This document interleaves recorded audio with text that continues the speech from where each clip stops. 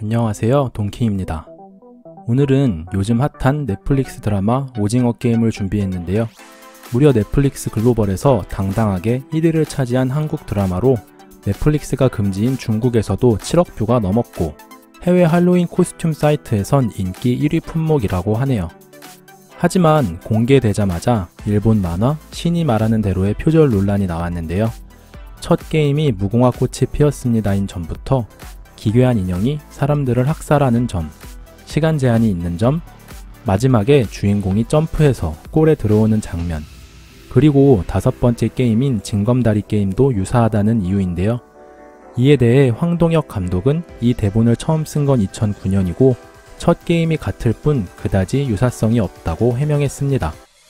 사실 이런 류의 데스게임을 소재로 한 영화나 만화는 상당히 흔한 편이고 게임보다는 게임을 여는 흑막의 정체와 목적이 더 중요하다고 생각해서 딱히 표절인 것처럼 보이지는 않는데요. 그럼 오징어 게임 속 소름 끼치는 사실 지금 바로 시작하겠습니다.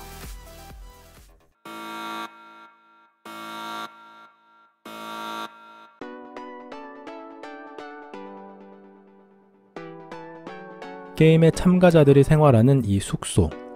첫 장면부터 자세히 보면 뒤에 이상한 무늬들이 그려져 있습니다. 게임이 진행될수록 점점 철제 침대가 빠지면서 그림이 잘 보이게 되는데 3명만 남았을 때에야 비로소 그림이 다 보이기 시작합니다. 바로 이 게임의 진행 순서대로 무궁화 꽃이 피었습니다. 뽑기, 줄다리기, 구슬치기, 징검다리, 오징어 게임인데요. 처음부터 모든 게임이 벽에 다 그려져 있었던 거죠. 456명의 참가자들 중에서 이걸 눈치챌 정도로 통찰력이 뛰어난 인물은 없었던 것 같네요.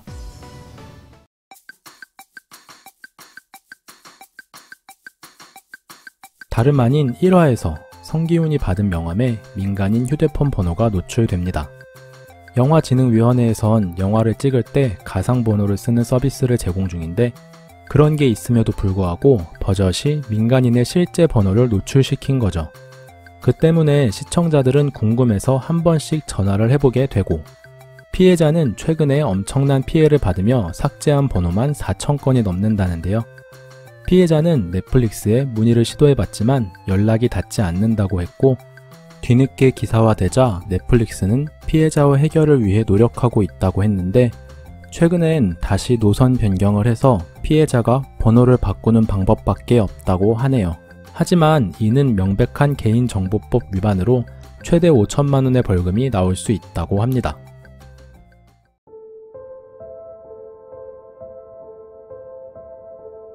최종 흑막으로 나왔던 1번 참가자 오일남 할아버지.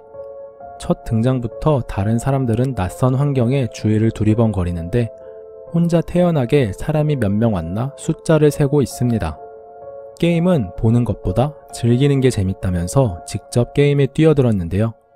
처음 볼 땐 몰랐지만 다 보고 나서 다시 정주행을 해보니 사람들이 죽어나가는데 해맑게 웃으면서 무궁화 꽃이 피었습니다를 하는 모습이 공포에 질린 다른 참가자들과 대비되면서 사이코패스처럼 보입니다. 2라운드 뽑기 게임에선 성기훈이 별 모양 어떠냐는 질문에 괜찮다고 하는데 이미 게임의 내용이 뭔지 알면서도 어려운 별 모양을 선택한 오일남. 주최자인 자신은 뽑기를 아예 부서뜨려도 죽지 않기 때문이죠. 다른 참가자들은 자신의 뽑기에만 집중하고 있고 뽑기의 성공 여부는 컴퓨터가 땡땡땡번 합격입니다. 불합격입니다로 말하는데 오일남이 어떻게 하던 게임의 주최자를 죽이진 않을 테니까요. 또 잘 살펴보면 2라운드에선 중간 계급인 세모만 총을 들고 있는데 검은 가면인 게임의 최고 관리자로부터 1번은 죽이지 말라는 지시도 있었을 거라고 추측합니다. 그 후 참가자들끼리 서로 죽이는 미니게임이 벌어졌을 땐 미니게임을 멈추려는 관리자들이 들어가지 않고 문 앞에만 대기하고 있는데 멈추라고 하는 오일남의 지시에 그제서야 들이닥쳐서 정리를 합니다. 그때 오일남의 대사가 소름 끼치는데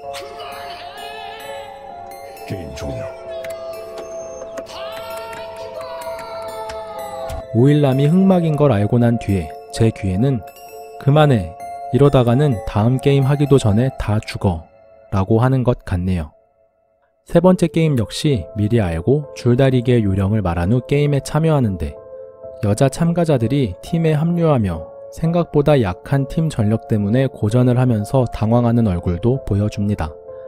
그런데 네 번째 구슬 뺏기 게임 전에 실제로 뇌종양이 있던 오일남은 몸에서 갑자기 열이 나기 시작하고 깍두기 제도를 이용해서 한 게임 쉬면서 치료를 받으려고 하는데 바지에 오줌을 싸는짓까지 하지만 성기훈이 억지로 끌고 가고 늙은 자신은 팀이 없어서 이번 게임은 빠질 수 있겠다고 생각하는 순간 또다시 손을 내미는 성기훈.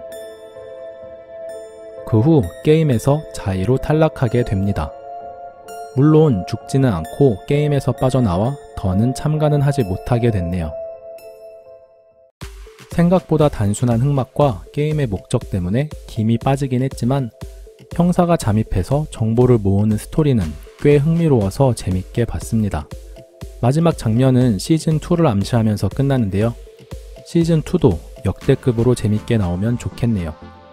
시청해주셔서 감사합니다. 동키무비였습니다.